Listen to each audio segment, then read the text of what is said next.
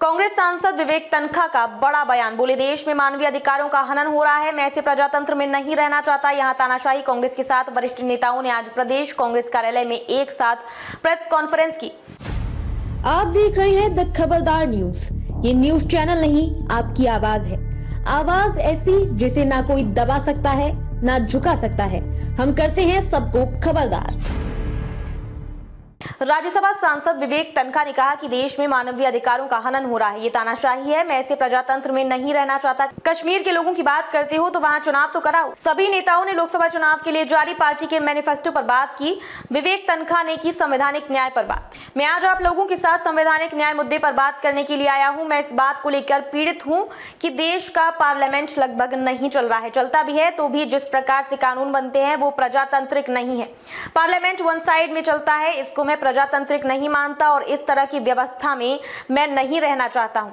अगर हमें प्रजातंत्र को बदलना है तो अपनी प्रणाली और सोच को भी बदलना पड़ेगा। मैंने ये बात देश के उपराष्ट्रपति को पत्र लिखकर बताई है। जब मेरे नाम के साथ देश के उपराष्ट्रपति ने मुझे कहा था कि, तनखा जी, मैंने नहीं सोचा आप अपनी पार्टी के लीडर के साथ वेल में आ जाएँगे। आप कानून के विद्वान हैं, लोग आपको आइकन के तौर पर मानते हैं। लोग आपके बारे में क्या सोचेंगे? कांग्रेस सबको साथ लेकर चलती है।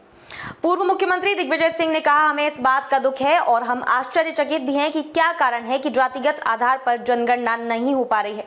सामान्य तौर पर हर 10 वर्ष में जनगणना होती है, लेकिन 2021 में होने वाली जनगणना नहीं हो पाई। जनगणना होने के बावजूद भी आज तक केंद्र सरकार ने 2021 की जनगणना का कोई आंकड़ा देश के सामने प्रस्तुत नहीं किया। हमारी पहली मांग सामाजिक और राजनीतिक हिस्सेदारी की है। उन्होंने कहा कि जब तक जातिगत की जनगणना के आंकड़े सामने नहीं आएँगे, हमें ये नहीं पता लगेगा कि आंकड़ों के आधार पर किसकी कितनी हिस्सेदारी है।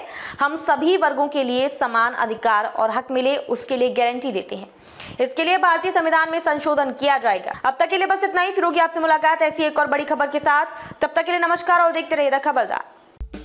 अगर आपको वीडियो पसंद आई हो तो वीडियो को लाइक करें, शेयर करें और हमारे चैनल को सब्सक्राइब करना ना भूलें। अपने सपनों का घर बना रहे हैं। एपी कंस्ट्रक्शन सॉल्यूशंस आपके लिए तैयार है। मज़बूत सिविल इंजीनियरिंग से लेकर आकर्षक वास्तुकला और विशेषज्ञ वास्तु परामर्श तक हम आपके सपने को साकार करते हैं।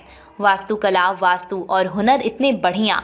दिए गए नंबर पर कॉल करें और अपने घर के डिज़ाइन को चमकाएँ। Please visit the mountain cafe and bakery for fast food near by Suhagi bypass